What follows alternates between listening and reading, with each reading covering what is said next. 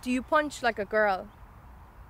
Do your knuckles raise in front of a trembling voice, always prepared to start and ready to finish?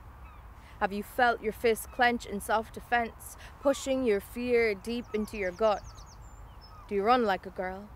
Do you hunt ambition and chase dreams along Olympic tracks? Do you sprint on fractured feet and thank the gods you did more than walk?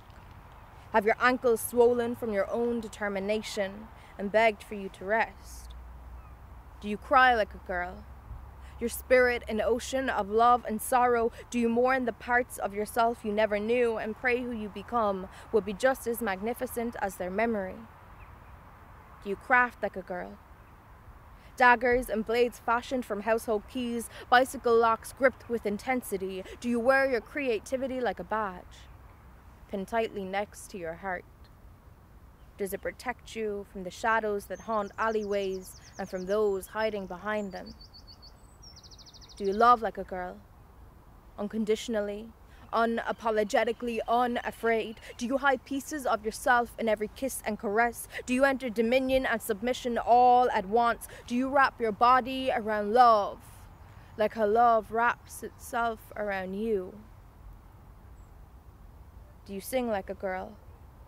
Roaring at the top of your lungs, each syllable enunciated with raw passion, can you feel it in your chest? Do your feet dance with the tempo and your entire body submit to lyric? Are you plagued with dance? Do you laugh like a girl? Does your belly bloat with chuckles while your hands dance in sequence? Have you hit your ugly, your raw? Have you replaced your organic with modified genetics but still mean every giggle and gaggle as though it were untouched? Do you age like a girl? as the world passed you as quickly as it took you to become an adult? Forced to woman in a world that doesn't want you? Are you forgotten by the time you can pronounce your own name? But still allow it to ring in their ears. You are irreplaceable.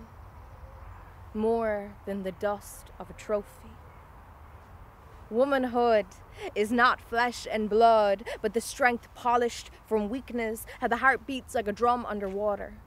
Her lungs squelch with combat. Womanhood is a duel to the death. It is a dance between friend and foe in front of a mirror that often forgets to reflect its own bravery.